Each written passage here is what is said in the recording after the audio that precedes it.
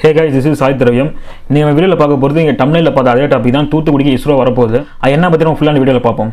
Guys ஆக்சுவலாக பார்த்தீங்கன்னா வேர்ல்டுலேயே ஒரு நாலஞ்சு ஸ்பேஸ் மிகப்பெரிய கண்ட்ரி எடுத்துப்போமே. அதாவது அந்த ஸ்பேஸ் ரிசர்ச் பண்ணுறதா இருந்தாலும் சேட்டலைட் அனுப்புறதா இருக்கட்டும். அந்த மாதிரி பார்க்கும்போது US China Russia and India இந்த நாலு கண்ட்ரி தான் எல்லாரோட மைண்ட்லையுமே வரும். வேர்ல்டில் வந்துட்டு இந்தியா வந்துட்டு ஏன் நிறைய பேர் ப்ரிஃபர் பண்ணுறான்னு பார்த்தீங்கன்னா இந்தியா வந்துட்டு ரொம்பவே சிம்பிளாக ஒரு சின்ன அமௌண்ட்டில் ஸ்பேஸுக்கு அமைச்சிருவாங்க. பிகாஸ் இப்போ உங்களுக்கு இன்னும் எக்ஸ்ப்ளா இன்னும் கொஞ்சம் சிம்பிளாக சொல்லணும்னு பார்த்தீங்கன்னா இப்போ சைனாலேருந்து ஒரு ராக்கெட் லான்ச் பண்ணோம்னா அதுக்கு பல்லாயிரம் கோடி ஆகும். பட் இந்தியாவிலேருந்து அதே ராக்கெட் லான்ச் பண்ணுறது I mean India Indian ISRO செய்யும் போது வெறும் பல நூறு கோடி செலவு பண்ணி அதாவது வெறும் பல நூறு கோடி செலவு பண்ணி ஸ்பேஸுக்கு அமைச்சிருவாங்க பட் அனுப்புகிற பொருள் என்னமோ ஒரே பொருள் தான். பட் அதை காஸ்ட் வந்து ரொம்ப கம்மி. ஸோ இப்போ இந்த சொன்ன இல்லையா தூத்துக்குடிக்கு இஸ்ரோ வரப்போகுதுன்ட்டு இது எல்லாத்துக்கும் ஸ்டார்டிங் பாயிண்ட் அங்கேருந்து தான் ஆரம்பிக்குது. ஸோ இப்போ இந்தியன் ரிசர்ச் ஆர்கனைசேஷனுக்கு டிமாண்ட் அதிகமாச்சுன்னு தான் சொல்லணும். ஒரு காலத்தில் நம்ம அனுப்புகிற எக்யூப்மெண்ட்டே போகுமா போகாதான்னு நம்ம யோசிச்சுட்டு இருந்தோம். ஐ மீன் ஒரு நைன்டீன் சிக்ஸ்டி செவன்டிஸ்ல அந்த மாதிரி டைமில் உண்மையிலே வந்துட்டு ரொம்பவே நம்ம ஹார்ட் ஒர்க் பண்ணி ரொம்ப எஃபோர்ட் போட்டு நம்ம சிம்பிளாக அந்த இடத்துக்கு வந்துடல. இப்போ இஸ்ரோன்ற வேர்ல்டு டாப் ஃபைவ்ல இருக்குன்னா அதுக்கு வந்துட்டு நம்ம சயின்டிஸ்ட்டு நிறைய பேர் இப்போ விக்ரம் சாராபாய் வந்துடுறவர் ஆரம்பித்தார் அதுக்கப்புறம் நம்ம அப்துல் கலாம் சாராக இருக்கட்டும். ஸோ இந்த மாதிரி நிறைய சயின்டிஸ்ட் உள்ள எஃபோர்ட் போட்டால் நம்ம வந்து இடத்துக்கு நம்ம அந்த இஸ்ரோ கொண்டு வந்திருக்கோம் ஸோ நம்ம அங்கே சொல்லி ஆகணும். அண்ட் ஃபர்தராக இப்போ அதுக்கு டிமாண்ட் அதிகமாகிடுச்சு அதாவது எந்த ஒரு கண்ட்ரிஸாக இருந்தாலும். இன்ஃபேக்ட் நான் கேள்விப்பட்டேன். நிறைய பெரிய பெரிய கண்ட்ரிஸ்லாம் கூட இப்போ இந்தியாவோட ராக்கெட்டில் அனுப்பலாம். ஒன்று கிளியராக சொல்லணும்னு வச்சுக்கோங்க ராக்கெட்டுன்ற ஒரு விஷயம். அந்த ராக்கெட் உள்ளே என்ன பொருள் வச்சு அனுப்புகிறோம் அதாவது பொருள் மீன் சேட்டலைட்டாக இருக்கட்டும். சேட்டலைட்டுன்றது ஸ்பேஸ்க்கு நம்ம அனுப்புறது. நமக்கு கீழே ஏதாச்சும் தேவைப்பட்ட விஷயத்தை மேலேருந்து கண்காணிக்கிறதுக்காக. இப்போ எக்ஸாம்பிள் நம்ம கூகுள் மேப் யூஸ் பண்ணிட்டு இருக்கோம். கூகுள் மேப் வந்து சேட்டலைட்லேருந்து அனுப்புகிற ஃபோட்டோஸ் தான்.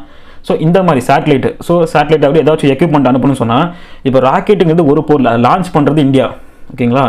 அண்ட் இந்தியா இந்த ராக்கெட்டுக்குள்ளே என்ன வேணாலும் இருக்கலாம். ஃபார் எக்ஸாம்பிள் இப்போ இந்தியாவோட எக்யூப்மெண்ட்ஸ் இருக்கலாம் இல்லை இந்தியாவோட சேட்டலைட் இருக்கலாம் இல்லை ஜப்பானோட சேட்டலைட் இருக்கலாம் இல்லை ஈஸ்டர்ன் யூரோப்பியன் கண்ட்ரிஸோட சேட்டலைட் இல்லை ஆஃப்ரிக்கன் கண்ட்ரிஸ் இந்த மாதிரி ஏதோ ஒரு கண்ட்ரிஸ் அவங்க வந்துட்டு ஒரு சின்ன அமௌண்ட் இந்தியன் கவர்மெண்ட்டை கொடுத்து அவங்களோட சேட்டலைட்டை இந்தியாவோட ராக்கெட்டோட சேர்த்து அனுப்புவாங்க. இதுதான் ஆக்சுவலாக விஷயமே அவங்க ஏன் இந்தியாவை நாடுறாங்க எல்லாம் அவங்க ஏன் இந்தியாவை தேவைப்படுறாங்க? இந்தியாவோட ப்ரைஸ் ரொம்பவே கம்மி. இப்போ அதே ஒரு ஆஃப்ரிக்கன் கண்ட்ரி வந்துட்டு ஒரு சைனா கிட்ட போய்ட்டு இந்த மாதிரி விஷயத்தை வந்து எனக்கு ஒரு சேட்டலைட் அமுச்சு கொடுங்க அப்படின்னு சொன்னால் சைனா வாங்குற ரேட் அதிகம். அது ஏன்னு கேட்டிங்கன்னா சைனா ராக்கெட் அனுப்புகிற ரேட்டே அதிகம் தாங்க அவங்க க்ரோஸ் கணக்கில் அனுப்புறதுனால அவங்க கிட்ட உள்ள இருக்க அந்த எக்யூப்மெண்ட் யார் தராங்களோ அவங்ககிட்ட அவங்க ரேட் வாங்கி தான் ஆகணும். காசு வாங்கி தான் ஆகணும். ஸோ அப்படின்ற மாதிரி பட் நம்ம அனுப்புறது ரொம்ப லீஸ்டான ப்ரைஸில் சீப் அண்ட் பெஸ்ட்டுன்னு சொல்கிற மாதிரி கம்மியான ரேட்டை ஒரு வேலை ஈஸியாக முடிச்சுட்டு போயிடுறோம். ஸோ அதனால நம்மகிட்ட வந்துட்டு எல்லா கண்ட்ரிஸும் வராங்க. ஸோ நமக்கு டிமாண்ட் அதிகமாகுது. இதான் ஃபஸ்ட் விஷயம். இப்போ வந்துட்டு ஒரு இயருக்கு எத்தனை ராக்கெட் லான்ச் பண்ணலாம் அப்படின்னு பார்த்தீங்கன்னா ஐ திங்க் ஒரு த்ரீ ஃபோர் மந்த்ஸோ இல்லை சம்திங் அந்த ப்ராசஸ் வந்து லென்த்தாக போகும் இல்லையா? ஸோ நம்மகிட்ட இப்போ இருக்கிறதே ஒரே ஒரு லான்ச்சர் மட்டும்தான். ஸ்ரீஹரிகோட்டாவில் இருக்குது ஆந்திராவில் ஸோ இஸ்ரோ கிட்ட இப்போ இருக்க ஒரே ஒரு லான்ச்சர் மட்டும்தான். ஸோ இப்போ இந்த லான்ச்சர் வச்சு தான் இப்போ அவங்க யூஸ் பண்ணிட்டு இருக்காங்க இப்போ வரைக்கும். பட் இப்போ டிமாண்ட்ஸ் அதிகமாகவே ஃபர்தராக இப்போ இன்னொன்று பண்ணி ஆகணுன்றக்காக இப்போ தூத்துக்குடியை ஒரு இடத்த சூஸ் பண்ணியிருக்காங்களாமா அண்டு uh, தூத்துக்குடிக்கு இடம் இடம் வந்து தமிழ்நாடு கவர்மெண்ட்லாம் அஃபிஷியலாக கன்ஃபார்ம் பண்ணணும். தமிழ்நாடு கவர்மெண்ட் பார்த்துட்டு இருக்காங்க தூத்துக்குடியில்.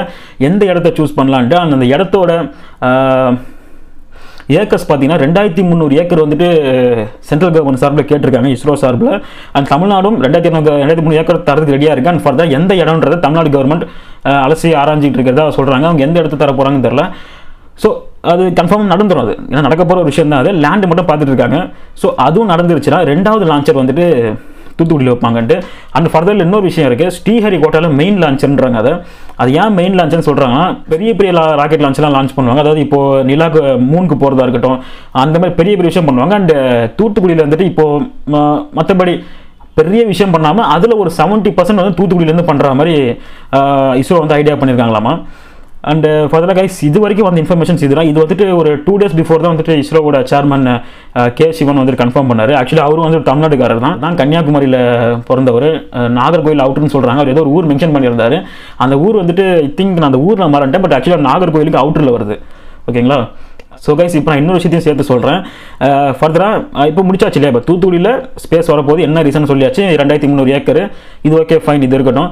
ரெண்டாவது நான் இன்னொரு விஷயத்த சொல்கிறேன் இது நான் வந்து ஜென்ரலாக சொல்கிறேன் இந்தியாவை பொறுத்த வரைக்கும் ஸ்பேஸ்னு வந்துட்டாலே சவுத் இந்தியா சவுத் இந்தியா கிட்ட ஒப்படைச்சிட்டாங்கன்னு தான் சொல்லலாம். புரியல நான் இன்னும் டீட்டெயிலாக சொல்கிறேன் இந்தியாவோட ஸ்பேஸோட ஹிஸ்ட்ரி எடுத்து பார்த்தீங்கன்னா அதாவது இந்தியாவோட ஸ்பேஸ் ரிசர்ச் ஆர்கனைசேஷன் ஆரம்பித்த காலத்துலேருந்து டூ தௌசண்ட் நைன்டீன் வரைக்கும் எடுத்து பார்த்தீங்கன்னா ஒரு கிட்டத்தட்ட பத்து கரெக்ட் கிட்டத்தட்ட இல்லை பத்து சேர்மன் கரெக்டாக பத்து சேர்மன் வந்து சேஞ்ச் ஆகியிருக்காங்க அந்த பத்து சேர்மன் யார் யாருன்னு பார்த்தீங்கன்னா விக்ரம் சாராபாய். அவர் வந்துட்டு ஃபாதர் ஆஃப் இந்தியன் ஸ்பேஸ்ன்னு சொல்லுவாங்க அவரை.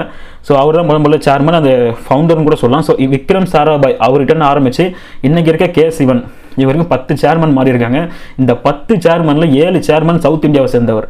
சவுத் இந்தியாவை சேர்ந்தவர்னு சொல்லும்போது தமிழ்நாடு கேரளா கர்நாடகா அண்ட் ஆந்திரா. இந்த நாலு ஸ்டேட்டை சேர்ந்தவங்க தான் பத்தில் ஏழு சேர்மன் அதாவது தலைவராக இருந்திருக்காங்க. ஃபர்தராக இது மட்டும் இல்லாமல் இஸ்ரோவோட ஹெட் குவார்ட்டர்ஸ் எங்கே இருக்குன்னு பார்த்தீங்கன்னா பெங்களூரில் இருக்குது இஸ்ரோவோட லான்ச்சர் ஸ்ரீஹரிகோட்டாவில் இருக்குது அண்ட் ஃபர்தர் இன்னொரு விஷயம் சொல்கிறேன் இந்த ரெண்டு மட்டும் தான் ஒரு ராக்கெட் லான்ச் பண்ணுற முக்கியம் நினச்சிட்டா இன்னொரு பெரிய விஷயம் இருக்குது அது விக்ரம் சாராபாய் ஸ்பேஸ் சென்டர் இது வந்து ட்ரிவாண்ட்ரம் கொச்சியில் இருக்குது இவங்க தான் டிசைன் பண்ணுறாங்க ராக்கெட்டை அதாவது உங்களுக்கு புரிஞ்சுக்கணும் பெங்களூர் ஹெட் குவார்ட்டர்ஸ் இருக்குது ஸ்ரீஹரிகோட்டாவில் லான்ச்சர் இருக்குது and Vikram Sarabhai space centre ட்ரிவாண்டத்தில் கொஞ்சம் கேரளா ட்ரிவாண்டத்தில் இருக்குது அவங்க வந்து ராக்கெட் டிசைன் பண்ணுறாங்க ஸோ இந்த மூணு பெரிய பொறுப்புமே சவுத் இந்தியா கிட்ட இருக்கு.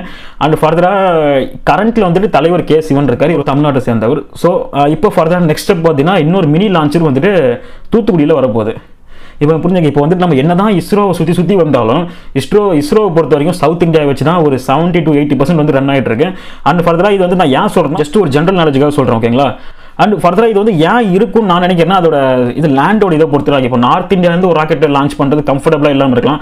பட் சவுத் இந்தியாவோட லேண்டு பார்த்தீங்கன்னா அது ஒரு மாதிரி கீழ் டவுன் சவுத்தில் டவுனில் இருக்கு இல்லையா?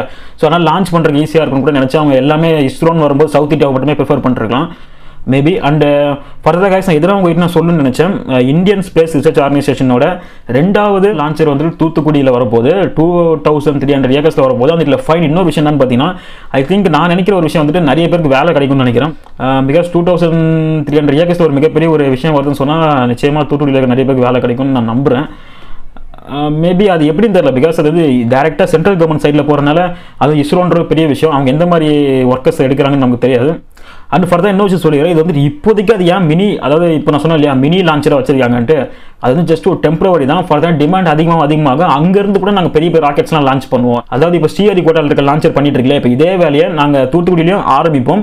பட் இப்போ நியூவாக ஒரு நம்ம செட் பண்ணி ஒரு லான்ச்சர் செட் பண்ணுறதுனால இப்போதைக்கு வெளிநாட்டிலேருந்து வர சேட்டலைட்ஸாக இருக்கட்டும் இல்லை இந்தியாவில் நம்ம அனுப்பணும்னு நினச்சிட்டு இருக்க சேட்டலைட்ஸாக இருக்கட்டும் இதெல்லாம் வச்சு நாங்கள் அனுப்புவோம். இப்போதைக்கு அதை மினின்னு நாங்கள் ஏன் சொல்கிறோம்னா இப்போதைக்கு நாங்கள் அனுப்புவோம். பட் ஃபர்தராக அது நல்லா டெவலப் ஆகிட்டு டெவலப் அதுலேருந்து கூட பெரிய பெரிய சேட்டலைட்ஸ்லாம் லான்ச் பண்ணுவோம். அப்படின்னு சொல்லி இஸ்ரோ தரப்புன்னு சொல்லிட்டு இருக்காங்க. ஸோ கைஸ் நான் இதெல்லாம் உங்ககிட்ட நான் ஷேர் பண்ணணும்னு நினச்சேன். அஹ் பெருசாக சொல்லியிருப்பேன்னு நினைக்கிறேன். ஒரு ஜஸ்ட் ஒரு ஜென்ரல் நாலேஜாக சொல்லியிருப்பேன்னு நினைக்கிறேன். ஸோ கைஸ் நீங்கள் நம்ம சேனலுக்கு ஒரு நியூ வியூவராக இருந்தீங்கன்னா சப்ஸ்கிரைப் பண்ணி பெல் ஐக்கானை ப்ரெஸ் பண்ணிடுங்க நம்ம போகிற வீடியோஸ் உங்களுக்கு உடனே உடனே வந்துடும் அண்ட் ஃபர்தராக உங்களுக்கு வேறு ஏதாவது டாபிக் தேவைப்படுச்சா கீழே கமெண்ட்டில் லீவ் பண்ணுங்கள் அண்ட் இப்போ நம்ம இந்த டாபிக் பேசணும் இல்லையா? தூத்துக்குடியில் இஸ்ரோ வருதுன்ட்டு இதை பற்றி உங்களுக்கு ஏதாச்சும் டவுட்ஸ் இருந்தால் கமெண்ட்டில் லீவ் பண்ணுங்கள் நான் என்னென்னு பார்த்து நான் ரிப்ளை பண்ணுறேன் ஸோ கைஸ் நம்ம நெக்ஸ்ட் வீடியோ சந்திப்போம். மறக்காம நியூ வியூவராக இருந்தீங்கன்னா சர்ப்ரைஸ் பண்ணிடுங்க சர்ப்ரைஸ் ஓகேங்க நீங்கள் பண்ணுற சப்ஸ்கிரைபே எனக்கு ஒரு சர்ப்ரைஸ் தான். ஸோ அதனால் சப்ஸ்கிரைப் பண்ணி பெல் ஐக்கானை ப்ரெஸ் பண்ணிடுங்க ஸோ கைஸ் நம்ம நெக்ஸ்ட் வீடியோவில் சந்திப்போம். அல் தனிஸ் பாய் ஃப்ரம் சாய் திரவியம் பாய்